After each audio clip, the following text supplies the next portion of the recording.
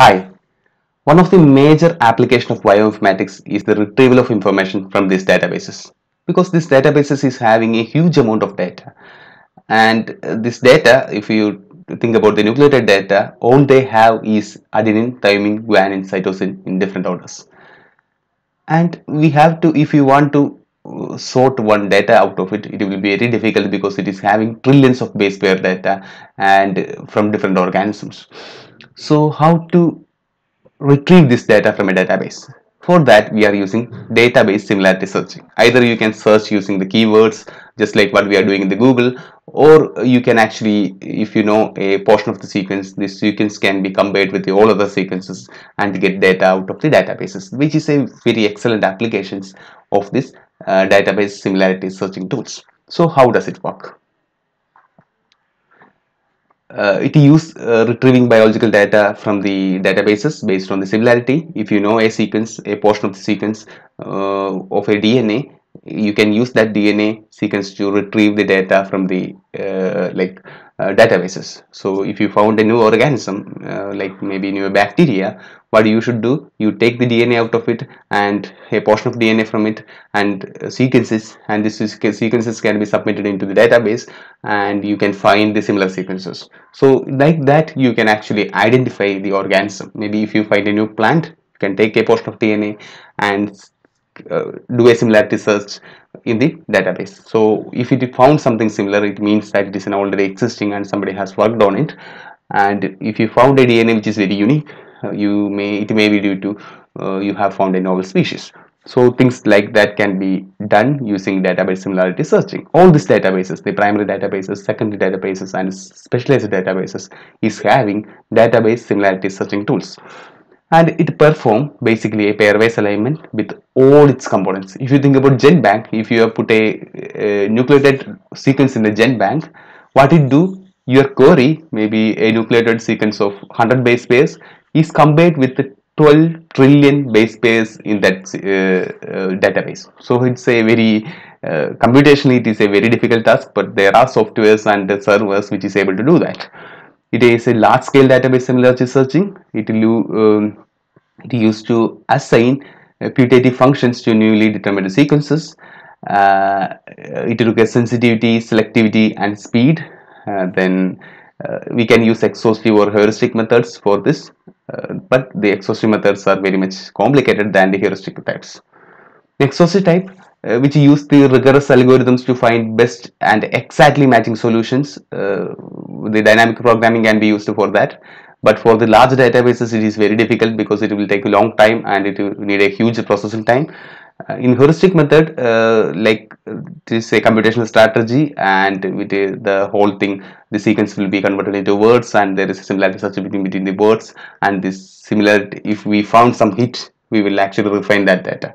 So Blast and FASTA is actually using the word method, which is a subtype of heuristic type uh, similarity search. So heuristic type method is uh, better in terms of speed and sensitivity. Uh, exhaustive type is good. Uh, it will give exact result, but it will take a long time. Uh, so most of these algorithms or databases are using some type of uh, of the heuristic type algorithms to aid the similarity searching. One of the most commonly used tools in the similarity searching is called BLAST. And BLAST stands for Basic Local Alignment Search Tool. So it's basically a tool for local alignment. Uh, it is developed by Stephen in NCBI 1990. Uh, it is one of the most popular program for sequence ana analysis. It's work as a part of GenBank, so it is actually doing this similarity search with the GenBank. Uh, it used heuristic alignment, uh, so it convert the query into uh, words words of three or more uh, nucleotide bases and it is doing a similarity search between these words and the database. And the similarity they have a scoring mechanism called e value so uh, this database works to maximize the e value of similarity. So if the e value is high that means the similarity is high. So this is how it works. If you put a query this will be converted into small words of three letters and this query is compared with the database and they will calculate the score. And based on the score they will actually do the whole uh, word matching with the two different sequences. So if it found a hit what they do they will extend the uh, uh, like the alignment to both sides. And they will again calculate the score and based on the scoring they will actually find the similarities between two different sequences. So in blast they will give three different types of result. At the same time they will give a graphical overview regarding the query. Then they give a matching list which all sequences are matching to your sequences. And they will give an alignment output which shows how the two differences are aligned. Another similarity searching method is FASTA. Uh, it is very much famous for its format called the FASTA format. We have already discussed that.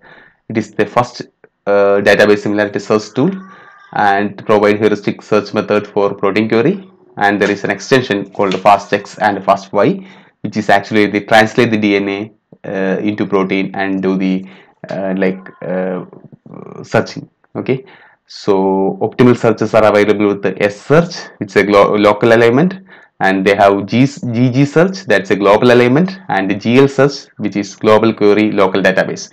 So uh, in different ways we can do this searching and they use the hashing strategy just like the blast they are converting it into small words and these words are called k-tuples or uh, k-tupes so method is almost similar but the blast method is very much efficient and uh, so like quick than the uh, method. So we have two different sequences. They actually make a hashing table and there will be scoring mechanism. There is, is a scoring uh, method and based on the scores they will find the similarity.